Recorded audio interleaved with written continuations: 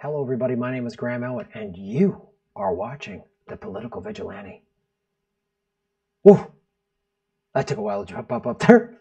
You're making Gotham great again, ladies and gentlemen.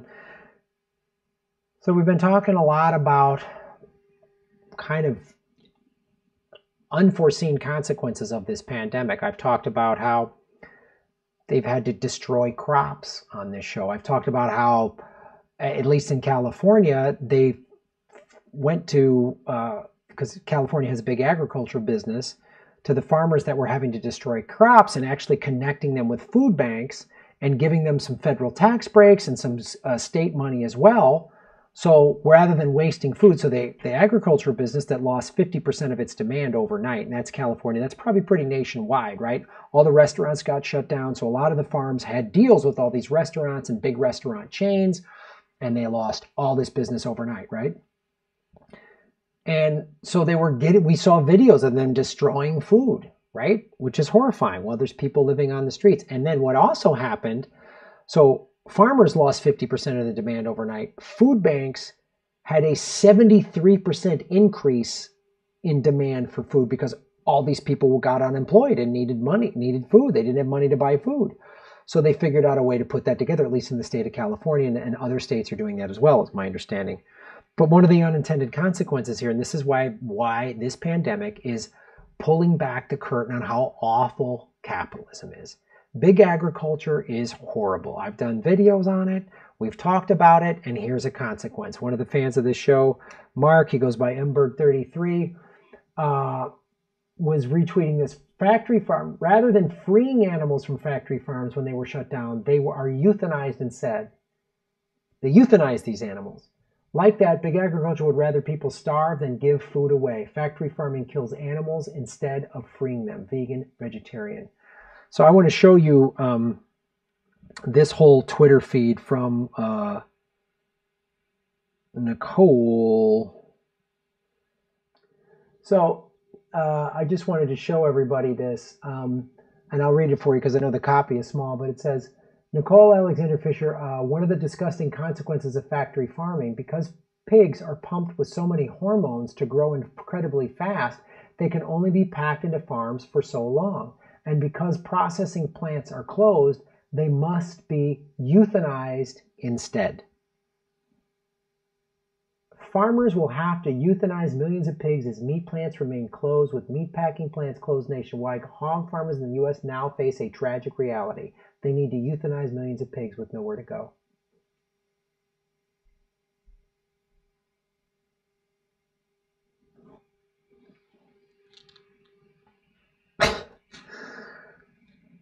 we have such a broken system.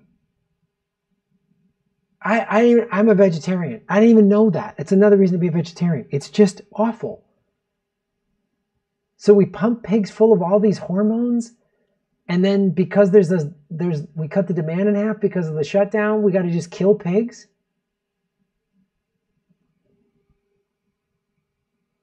Don't give them to anybody that could use one. I, I, ah, ah. I mean, just kill them. Yeah, just kill them all. Just un fuck who. Nobody sees that the system is broken. We're destroying excess food. 8,000 people die every day from starvation throughout the world. There's a virus. It's a really scary virus. It's called hunger. The, the vaccine is called food. this is uh this is horrific, man. I mean, so damn it, I, I, I, I don't even know how to like deal with all this. It's it's unbelievable, man. But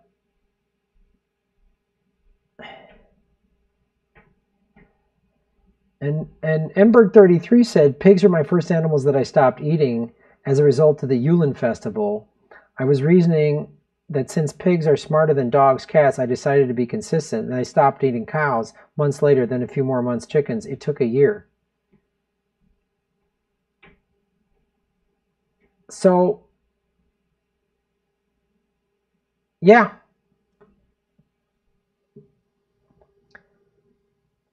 And no one at these big factory farms went, hey, is anyone out there need these?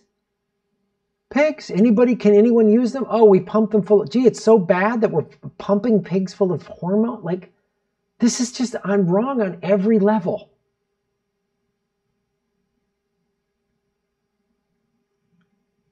I'm just waiting on data and research to say that vegetarians don't get this disease as bad as meat eaters. I'm just, I maybe I'm just, I'm saying that because I'm a vegetarian. I'm not a doctor. I don't know. But that's horrific that that's happening, and it shows you the problem with big factory farming. It shows you the problem with big factory farming. Again, profit, profit, profit, profit. No thinking. Big corporate capitalist thinking has no long term thought. Is this good for society? Is this good for the planet? Is this, is this sustainable? Is this good for our grandchildren and our great grandchildren? Is this good for the animals? Is this good for the ecosystem? Is this good for any of these things? No, just pump them for the hormones and get them out there and sell and sell, sell. Get everybody loving bacon.